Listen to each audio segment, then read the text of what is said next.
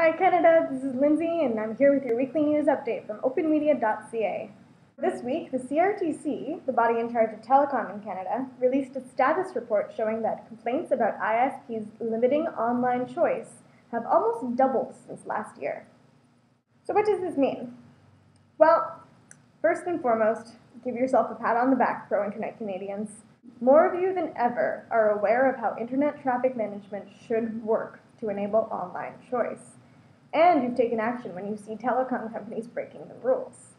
This is clearly the result of a growing community that cares about internet openness, feels empowered to take action, and spreads that engagement to other Canadians. It is, of course, ridiculous that the onus is put on internet users to know network management rules and jump through all kinds of hoops to file complaints. The CRTC should be positioned to enforce its own rules. This is something we've been asking for literally for years. But you, you have been effective.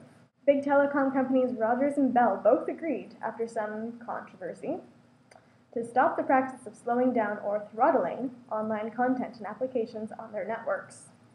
Prior to that, of course, Big Telecom attempted time and again to justify throttling by claiming that certain types of traffic somehow make their networks unmanageable. Bell and Rogers agreeing, though, to stop this practice is further evidence, and there's lots, that ISPs are in fact breaking the rules when they restrict access to online services. Based on what they promised just about a year ago, Bell and Rogers should have completely phased out this kind of traffic management practice by now. It'll be very interesting to see whether that will be reflected in the CRTC's next update. We at openmedia.ca will keep our eyes on it for you, Canada. For an open internet, this is Lindsey with openmedia.ca, signing off.